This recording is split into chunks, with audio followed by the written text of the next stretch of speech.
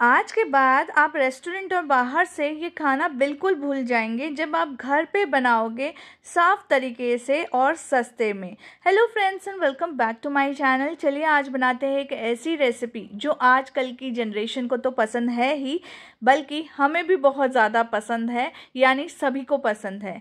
तो एक बोल में मैंने आधा कप पानी ले लिया है गर्म। इसमें डाल देंगे एक चम्मच शुगर और डेढ़ चम्मच के करीब मैंने ड्राई एक्टिव ईस्ट लिया है। अच्छी ब्रांड का आप ईस्ट लीजिएगा ताकि अच्छी तरह से हमारी रेसिपी बने और फूले। इसे अच्छी तरह से मिक्स कर लेंगे।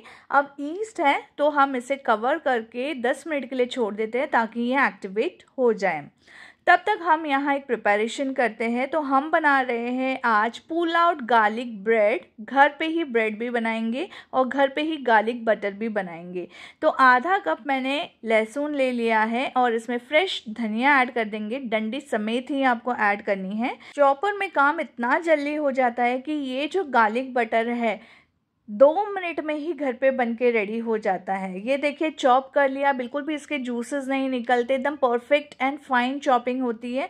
तो हमारे सबके घर में एक चॉपर होना चाहिए ताकि काम करने में आलस ना आए। यहाँ मैंने एक कंटेनर ले लिया है जिसमें मुझे गार्लिक बटर बनाना है। उसी में मैंने 200 ग्राम अमूल बटर ले लिया है। रूम टेम्परेचर वाला ये बटर है। फिर भी मैं इसे कट कर लूँगी और एक बार तीस सेकेंड के लिए माइक्रोवेव कर लूँगी ताकि हल्का सा मेल्ट हो जाए। माइक्रोवेव नहीं है आप डबल बॉयलर के हिसाब से इसे मेल्ट कर सकते हैं। और जो गार्लिक और धनिया का जो मिक्सचर था, इसको मैं इसमें सारा का सारा डाल दूँगी। आपको जितना स्ट्रॉन्ग गार्लिक का फ्लेवर चाहिए, उतना आप गार्लिक डाल सकते हैं। दो चम्मच मैंने चिली फ्लेक्स और दो चम्मच मैंने ऑरिगेनो डाल दिया है।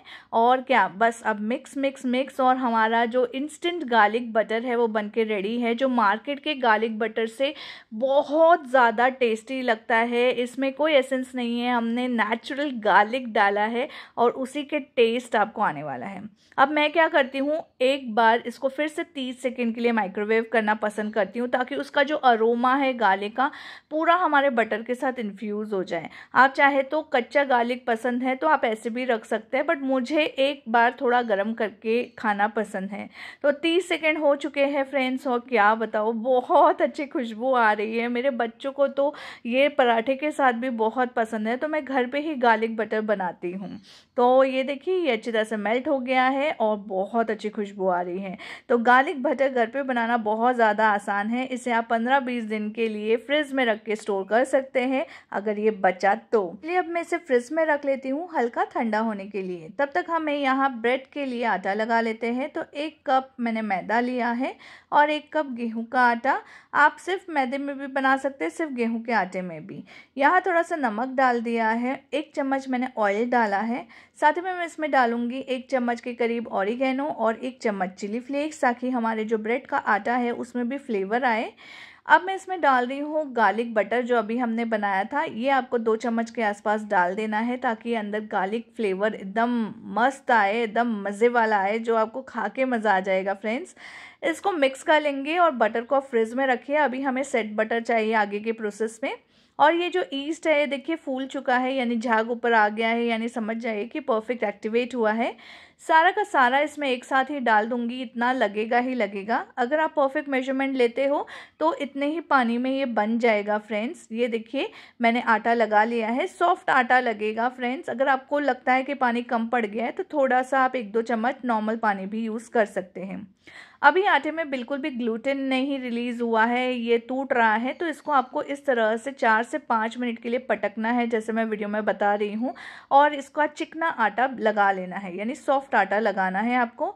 इसके बाद इस पर ऑयल ड्रिजल करेंगे और जो बोल है, उसको भी ऑयल से अच्छी तरह से ग्रीस कर लीजिएगा ताकि ये आटा अभी राइस हो तो हमारे बोल से बाद में आराम से निकल जाए, चिपक के वेस्ट ना हो हमारा आटा। ये देखिए, मैंने अच्छी तरह से डो को भी ग्रीस कर लिया है ऑयल से और सॉफ्ट आटा मैंने लगाया है। अब इस आटे को हमें रैप कर लेना है या आप कपड़ा रख सकते हैं अगर आपके पास क्लिंग रैप नहीं है। बट मैं रैप करना प्रेफर करती हूँ ताकि अंदर बिल्कुल भी हवा ना जाए और इसे ऐसी जगह पे आपको रखना है जहाँ हल्की गर्माहट मिले। जैसे कोई कैबिनेट में रख सकते हैं या अगर आपके पास माइक्रोवेव ओवन है तो उसमें रख सकते हैं। डेढ़ घंटे के लिए छोड़ दें। डेढ़ घंटे बाद आप देखेंगे कि आटा डबल हो चुका है, ये देखिए साइज़ में डबल हो चुका है और ये एकदम सॉफ्ट भी हो चुका है। ये देखिए, मैं अभी आपको बताती हूँ इसमें कितने अच्छे जाले आए हैं, यानी आपके जो, आपने जो ईस्ट यूज़ किया था वो परफेक्टली काम किया है। ये देखिए, एकदम ब्रेड वाला टेक्सचर दिख रहा है ना। अब इसको हल्के हल्के से नीट करूँगी। अब इसे बहुत ज़्यादा आपको नीट नहीं करना है। बस हल्के हल्के से आपको नीट करना है एक या दो मिनट के लिए। उसके बाद इस आटे को फैला लें और इस तरह से आप रोल करें, ये देखिए इस तरह से। आप चाहे तो सिर्फ़ और सिर्फ़ ब्रेड बना रहे हैं तो ऐसे ब्रेड बना के आप इसे बेक कर सकते हैं, बट मैं आज इसके garlic cheese pull out breads बना रही हूँ। तो अब मैं इसके आठ हिस्से कर लूँगी फ्रेंड्स, इक्वल हिस्से आपको कर लेने हैं। इस तरह से आप पिज़्ज़ा कटर का भी यूज़ कर सकते हैं। एक लोई ले ले। ये देखिए कितनी अच्छी तरह से जाले बने हैं और इस तरह से फिंगर की हेल्प से ही आप इसे स्प्रेड करके, ये देखिए, पूरियों जैसे आप इसको बना लें। आप आपको अगर लगता है कि हाथों से नहीं हो रहा है तो आप बेलन से भी बेल के कर सकते हैं ये प्रोसेस बट हाथों से इजीली हो जाता है क्योंकि बहुत ज़्यादा सॉफ्ट आटा है। और ना ही आपको सूखा आटा लेने की ज़रूरत पड़ेगी, ये बिल्कुल भी चिपक नहीं रहा है क्योंकि अंदर हमने ऑयल बटर डाला था और ऊपर भी अच्छी तरह से हमने ग्रीस किया था। तो इस तरह से आप सारे आपकी जो लोई है ब्रेड की, उसको फैला लें हाथों की हेल्प से या बेलन से और इसको हाफ़ में आपको कट कर लेना है। जैसे कि मैं बता रही हूँ, आप नाइफ़ का भी यूज़ कर सकते हैं पिज़्ज़ा कटर का भी यूज़ कर सकते हैं। तो मैंने सारी ये जो ब्रेड की पूरियाँ हैं, उसको मैंने हाफ़ हाफ़ कट कर लिया है और यहाँ मैंने ले लिया है गार्लिक बटर जो सेमी सेट हो चुका है। हमें ऐसा ही बटर चाहिए इस रेसिपी के लिए। तो मैंने इसे निकाल लिया है फ्रिज में से और चलिए इसे जनरस अमाउंट में आप अप्लाई करें, अच्छी तरह से आप अप्लाई करें ताकि बहुत ही अच्छा गार्लिक का फ्लेवर आए। अगर आपको गार्लिक ब्रेड खाना पसंद है, ये रेसिपी डेफिनेटली आपको ट्राई करनी चाहिए। बहुत ही बढ़िया बनती है, आप ज़रूर ज़रूर ट्राई करिएगा। आप मार्केट से, रेस्टोरेंट से डोमिनोज, पिज़्ज़ा हट के गार्लिक ब्रेड भूल जाओगे, गारंटी है मेरी। ग्रेटेड चीज़ के ऊपर मैंने ऑरिगेनो और चिली फ्लेक्स ऐड कर लिया है और इस तरीके से आपको एक के ऊपर एक इस तरह से ब्रेड के स्लाइसेस रखते जाने हैं। ये देखिए यहाँ मैंने प्रोसेस चीज़ का यूज़ किया है। आप चाहे तो मोजरेला चीज़ भी यूज़ कर सकते हैं। मुझे वो मोजरेला पसंद नहीं है, इसलिए मैंने प्रोसेस चीज़ का ही यूज़ किया है। अगर आपको वो पुल आउट चाहिए जब आप खाते हो, वो खिंचाव चाहिए चीज़ का तो आप मोजरेला चीज़ यूज़ करें। तो एक साथ मैं चार ये जो लेयर है वो बनाने वाली हूँ। तो चार लेयर का एक स्टैग आपको बनाना है। चीज़ आपके हिसाब से आप कम ज़्यादा कर सकते हैं और हल्का हल्का दबाना है, ऊपर से चिली फ्लेक्स, ऑरिगेनो आपकी श्रद्धा अनुसार आप डाल दें। तो इस तरीके से ये देखिए, मेरे यहाँ चार इस तरह के स्टैग्स बन के रेडी हुए हैं और देखते ही खाने का मन हुआ कि नहीं और मुँह में पानी आया कि नहीं, ज़रूर बताएगा। तो इस टाइप से आपको इसको बना लेना है। अब चलिए आगे का प्रोसेस देखते हैं। तो इसके लिए मैंने बेकिंग ट्रे ले लिया है और इसमें पाँच पेपर या बटर पेपर आप लगा लें ताकि अच्छी तरह से डीमोल्ट हो जाए। और और जो इसका प्लेन साइड था हाफ़ वो आपको नीचे रखते जाना है और एक दूसरे के साथ इसे चिपकाते जाना है, यानी बहुत ज़्यादा पास पास रखना है। हल्का हल्का दबाते भी जाइए ताकि ये एक लोफ की तरह बन जाए। तो यहाँ चार स्टैग मेरे बने हैं और लास्ट में आपको चीज़ अंदर के साइड रखना है, ये देखिए। और ये देखिए थोड़ी जगह बच गई है तो मैं इसको थोड़ा सा पेपर को कम कर रही हूँ। ये देखिए, इस तरह से आप फोल्ड कर सकते हैं। और जगह बचनी भी चाहिए, क्योंकि ये फूलेगी फ्रेंड्स तभी ये पूरी जगह, पूरा टिन का शेप भी ले लेगा। तो इसलिए आपको थोड़ा सा बड़ा टिन लेना है, पूरा भर भर के आपको नहीं भरना है। तो यहाँ देखिए, हमारा गार्लिक ब्रेड्स ऑलमोस्ट रेडी है, बस अभी वेटिंग टाइम है तो इसको अब हम कवर कर लेंगे क्लिंग रैप से।